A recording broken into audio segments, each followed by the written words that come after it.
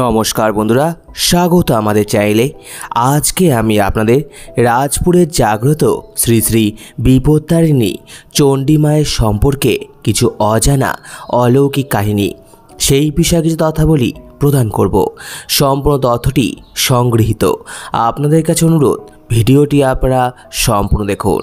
তেরোশো তেইশ বঙ্গাব্দের কার্তিক মাসের কার্তিক পুজোর দিন ভোরে জন্ম নেন এই মন্দিরের প্রতিষ্ঠাতা বাবা দুলাল দুলাল চন্দ্র দাস। বাবা দুলাল জন্মানোর কিছুক্ষণ পরেই ওই ভোরবেলায় কয়েকজন অপরিচিত কীর্তনিয়া রাজপুর গ্রামের রাস্তা দিয়ে কীর্তন গিয়ে যেতে যেতেই তারা হঠাৎ করে শ্রী সাধনচন্দ্র দাসের বাড়িতে ঢুকে বাবা দুলাল যে ঘরে জন্মান, সেই ঘরের বন্ধ দরজার সামনে দাঁড়িয়ে কীর্তন গান গাইতে লাগলেন। তেরোশো আঠাশ বঙ্গাব্দে মাঘ মাসের কৃষ্ণপক্ষে শনিবার রক্ষাকালী রূপে জগৎমাতার দর্শন পান বাবা দুলাল। পরে সোমবার জগৎমাতার রূপী দক্ষিণা কালিকা মূর্তি বাড়িতে এনে বালকের লীলা খেলা আরম্ভ হয়। তেরোশো তেত্রিশ বঙ্গাব্দে দশ বছর বয়সে বিপত্তারিণী চণ্ডীর দর্শন এবং মাতৃমুখে বাবা দুলাল ডাক শ্রবণ। ওই ডাক শুনে দুলালের সর্বাঙ্গ আনন্দে অবশ হয়ে যায়। সামনে দেখে অপূর্ব সুন্দরী এক মেয়ে। পরনে লাল বেনারসি শাড়ি, নাকে আবার নত রয়েছে। কাছে দাঁড়িয়ে ছিল একটি ছোট্ট সিংহ। সেই সিংহের পিঠে বসে তিনি বললেন, দেখ বাবা দুলাল, আমি যে আমার যে কালী মূর্তি গড়তে দিয়েছ, সে মূর্তি হবে না। কি মূর্তি হবে দেখে নাও। সিংহবাহিনী, চতুর্ভুজা কালী মূর্তি আরও বললেন, আমার হাতে নরমুণ্ড থাকবে না, গলাতেও থাকবে না মুন্ডমালা নিচের বাঁ হাতে ধরলেন মহাশুল, ওপরের বাঁ হাতে খড়গ, নিচের ডান হাতে বড় দাহিনী ওপরের ডান হাতে অভয় দাহিনী এই রূপই আমি ধরব আর বিপতারিণী চণ্ডী নামে প্রচার লাভ করব। মাতৃ নির্দেশে বিপতারিণী চণ্ডী মূর্তি গঠন ও নিজের মাথায় করে গৃহে এনে স্থাপন করলেন বাবা দুলাল। একদিন পাঠশালায় পড়া শেষে ঠাকুরদার থেকে পাওয়া টাকা নিয়ে পটুয়াপাড়ায় গিয়ে মা চণ্ডীর ছোট মূর্তি তৈরির বায়না করলেন। মূর্তি তৈরি হলে দুলাল নিজে মাতৃমূর্তি চণ্ডীমায়ের মূর্তি মাথায় নিয়ে যাওয়ার উদ্যোগ নিলেন। পটুয়া তাকে বেঁধে দেয়। ছোট ছেলে মৃন্ময়ী মাতৃমূর্তি মাথায় নিয়ে বাড়ি যেতে পারবে না। সবাইকে অবাক করে দুলাল মাথায় মা চণ্ডীর মাতৃমূর্তি উঠিয়ে নিয়ে অনায়াসে আসলেন। এইদিকে বাড়িতে পাঠশালা থেকে ছেলে কোথায় গেল সেই নিয়ে সবাই চিন্তিত। দুলাল একটি মৃন্ময়ী চণ্ডী মাতৃমূর্তি মাথায় নিয়ে বাড়ির দিকে আসছে। এই দৃশ্য দেখে তিনি প্রচণ্ড উত্তেজিত হয়ে পড়লেন তার বাবা। তিনি দুলালকে বললেন, তুমি এই চণ্ডী মূর্তি নিয়ে ঘরে ঢুকবে না। ওই মূর্তি সদর দরজার বাইরে রাস্তায় রেখে ঘরে ঢুকবে। কারণ আমরা নিম্ন বর্ণের মানুষ, তাই আমাদের ওই মূর্তি ঘরে ঢোকানোর অধিকার নেই। তুমি ওই মূর্তি দরজার বাইরে রেখে ঘরে ঢুকবে। এই কথা তিনি বললেও দুলাল কোনো উত্তর না দিয়ে মাতৃমূর্তি মাথায় নিয়ে বাইরে দাঁড়িয়ে থাকলেন। দুলাল জননী তখন দুলালের এই রকম অবাধ্যতা দেখে খুব রেগে গিয়ে বাড়ির উঠোনে একটু ঝাপঝোড় রাখা একটি বেতের ডাল নিয়ে দরজার সামনে দাঁড়িয়ে থাকা দুলালকে মারতে শুরু করলেন। কিন্তু দুলাল নির্বিকার। তখন দুলালকে তার ঠাকুরদা রক্ষা করলেন এই মার খাওয়ার হাত থেকে। রাতে দুলাল মায়ের স্বপ্নে দেখলেন যেন একটা শ্যামবর্ণা, অপরূপা সুন্দরী, কিশোরী কন্যা, লাল বেনারসি শাড়ি পরে যেন আড়াল থেকেই তাকে বলছে, তুই আমার পিঠের দিকে তাকিয়ে দেখ, আমার পিঠে কীরকম কালশিটে দাগ পড়েছে। তুই দুলালকে মারলি, বেদ দিয়ে, এটুকু বাচ্চা ছেলে কি ওরকম মার সহ্য করতে পারে?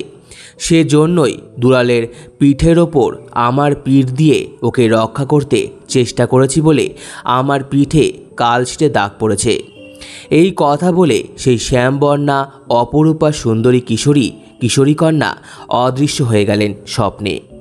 তখনই দুলাল জননীর ঘুম ভেঙে গেল। তিনি বুঝতে পারলেন, এই শ্যামবর্ণা কিশোরী কিশোরী কন্যা স্বয়ং মা চণ্ডী। তিনি ছাড়া আর অন্য কেউ নন। দুলাল জননী তারপর চণ্ডী প্রতিষ্ঠার ব্যবস্থা করলেন। সেই থেকেই আজও মায়ের মৃন্ময়ী মূর্তি দুলালের বাড়িতে পূজিত হয়ে আসছেন। দুলালের অবর্তমানেও। এভাবে মা চণ্ডী বাবা দুলালের গৃহে মৃন্ময়ী মাতৃমূর্তিতে প্রতিষ্ঠিত হলেন। পরের দিন প্রত্যুষে আদিগঙ্গায় অবগাহনের পর সিঁড়ির ওপর এক মনোরম শিলাখণ্ড পেয়ে বাবা দুলাল সেটি বাড়িতে আনেন। রাতে তন্দ্রাভূত অবস্থায় সে দেখলেন যে এক নধর তনু গৌরকান্তি, ব্যাঘ্রচর্ম আচ্ছাদিত পুরুষ হাতে ত্রিশূল ধারণ করে হাসি মুখে অবয়স্তে প্রসারিত করে তাকে বলছেন, দেখ, চণ্ডী তোমার কাছে এসে বাধা পড়লেন। সেজন্য আমাকেও আসতে হলো। আমি তো চণ্ডী ছাড়া থাকি না আর চণ্ডীও আমাকে ছাড়া থাকে না। তেরোশো চৌত্রিশ বঙ্গাব্দে মাতৃ নির্দেশে বিপত্তারিণী চণ্ডীব্রতর উৎসব আরম্ভ হয়। চোদ্দ বছর বয়সে বাবা দুলালের শ্মশানের সাধনা শুরু। রাজপুর শ্মশানে শিব চৌদশী উপলক্ষে আট দিন ব্যাপী শ্মশানকে জাগিয়ে রাখার জন্য মেলা ও শ্মশানের বাসের পরিকল্পনা করেন বাবা দুলাল। তেরোশো চল্লিশ বঙ্গাব্দে মাতৃনির্দেশে রত্নবেদী রচনা এবং পূর্ণ মাতৃদর্শন, মাতৃরূপ দর্শন পান। বাবা দুলাল পঞ্চমুণ্ডির আসনে বসে সাধনা করার দৈবাদেশ পান। কিন্তু তার গর্ভধারিণী বিরূপ মত প্রকাশ করে বলেন, পঞ্চমুণ্ডির আসন কেবল সিদ্ধ এবং যোগ্য সাধক এবং তপস্বীদের জন্য প্রযোজ্য। সাধারণ মানুষ তাতে অধিকার কোথায়? তুমি এমন আসন তৈরি করো যাতে সর্বসাধারণ অক্লেশে স্পর্শ করতে এবং বসে সাধনা করতে পারেন। আপন জন্মদাত্রী মায়ের এই আদেশকে স্বয়ং বিশ্বধাত্রী মায়ের আদেশ জ্ঞান করে বাবা দুলাল পঞ্চমুণ্ডির বদলে সিদ্ধাসন রচনা করলেন পঞ্চরত্ন দ্বারা এবং বিধিবৎ তাতেই বসে সাধনা আরম্ভ করলেন। তার গর্ভধারিণী পুত্রের এই আচরণের যার পরনায় প্রীত হয়ে সাধনায় শীঘ্র সিদ্ধিলাভ করার আশীর্বাদ করেছিলেন।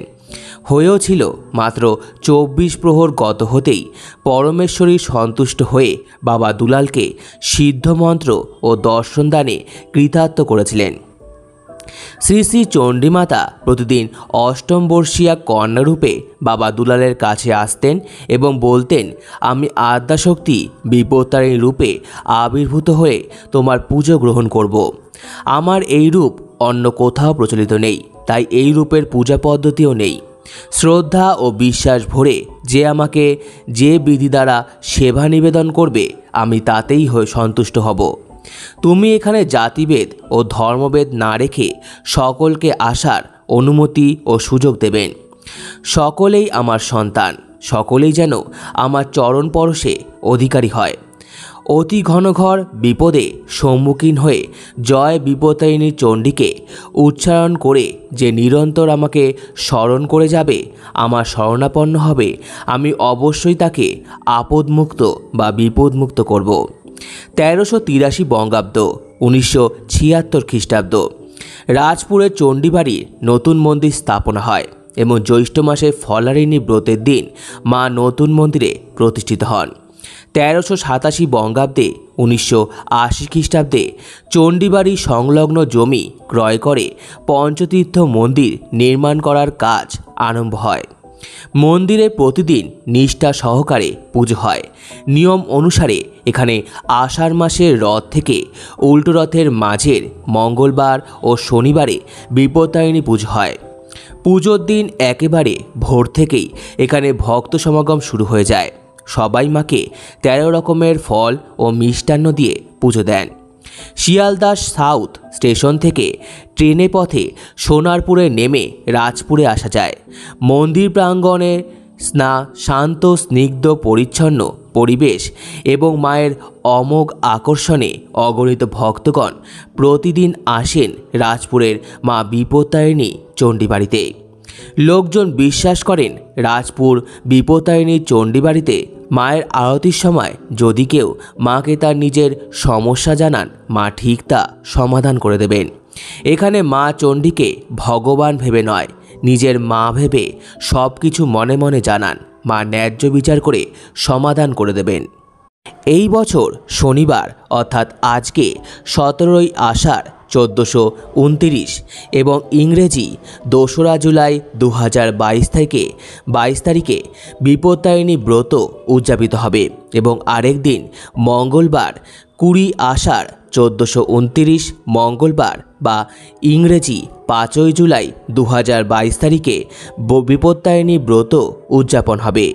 হিন্দু শাস্ত্রে বিপত্তারিণী ব্রত পালনের অর্থ দেবী দুর্গার আরাধনা করা। দেবী দুর্গা হিন্দু ধর্মের দেবী, দেবাদিদেব মহাদেবের অর্ধাঙ্গিনী আদিশক্তি। অন্যান্য দেবী তারই অবতার বা ভিন্ন রূপ। সিংহবাহিনী দেবী দুর্গা কখনো অসুন্নাসিনী আবার কখনো মাতৃরূপিণী। মা বিপত্তারিণী দেবী দুর্গার একশো আট অবতারের একটি রূপ। আষাঢ় মাসের শুক্লপক্ষে তৃতীয়া থেকে নবমী তিথিতে যে কোনো শনিবার এবং মঙ্গলবার এই ব্রত পালন করা হয়। বিপত্তারিণী ব্রত পালনের আগের দিন হবিষ্য করার নিয়ম আছে। না হলে নিরামিষ আহার গ্রহণ করতে হয়। তেরো রকমের ফুল, তেরো রকমের ফল, তেরোটি পান, তেরোটি সুপারি এবং তেরো গাছা লাল সুতোতে, তেরো গাছা দুর্বা সহযোগে তেরোটি গিট বেঁধে ডুরি তৈরি করতে হয়। আম্রপল্লব সহ ঘর স্থাপন করে ব্রাহ্মণ দ্বারা নাম গোত্র সহযোগে পুজো দিতে হয়। পুজোর পরে বিপত্তারিণী দেবীর ব্রতকথা শোনা পুজোরই অঙ্গ। লাল সুতোর ডুরি পুরুষদের ডান হাত এবং মহিলাদের বাম হাতে ধারণ করার নিয়ম রয়েছে। বিপত্তারিণী ব্রত সাধারণত মহিলাদের ব্রত। এই ব্রত কমপক্ষে তিন বছর পালন করার নিয়ম রয়েছে। বিপত্তারিণী ব্রত পালনে মনস্কামনা পূরণ হয়। সাংসারিক বিপদ থেকে রক্ষা করে জীবনে সুখ, শান্তি এবং সমৃদ্ধি দান করেন স্বয়ং মা বিপত্তারিণী।